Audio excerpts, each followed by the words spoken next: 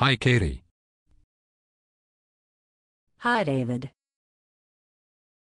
Today we're gonna talk about how to increase our reading speed with few simple exercise.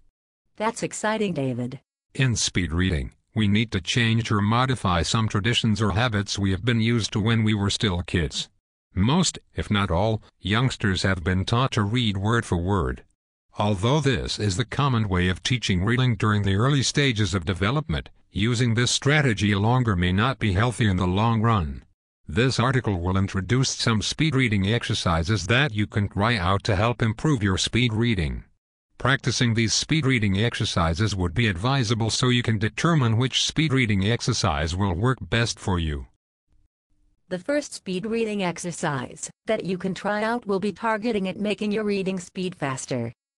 For the speed reading exercise, you can choose any book, selection, or document that you feel comfortable reading.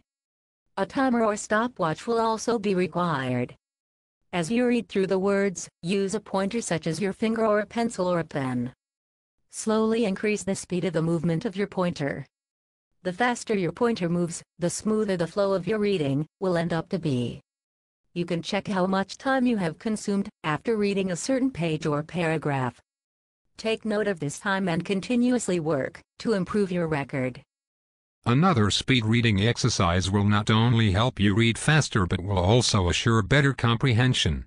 Comprehension as well as speed will be improved in this speed reading exercise by training an individual to read more and more words in a block at a given time.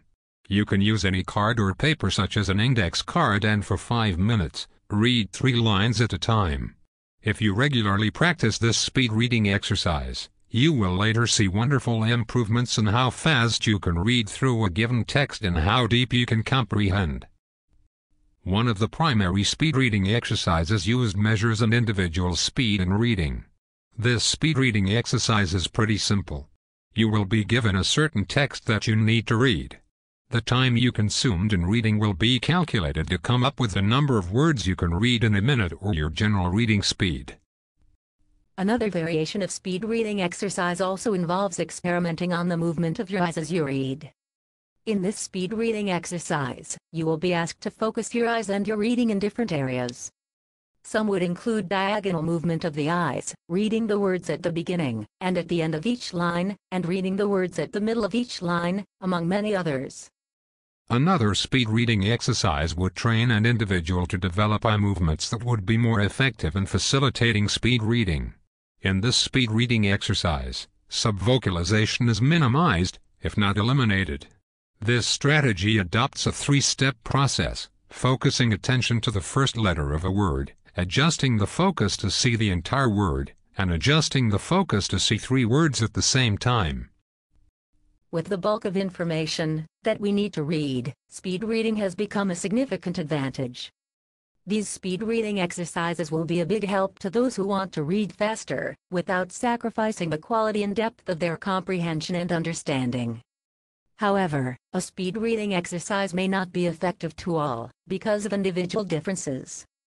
Thus, since a person knows himself or herself the most, he or she can determine which specific speed reading exercise will be most fitting. Thank you Katie for all these great methods and exercises. Well, if you want to know more about how to boost your reading speed, sing up now here for a free speed reading course by John Laing. See you soon. Bye. Bye.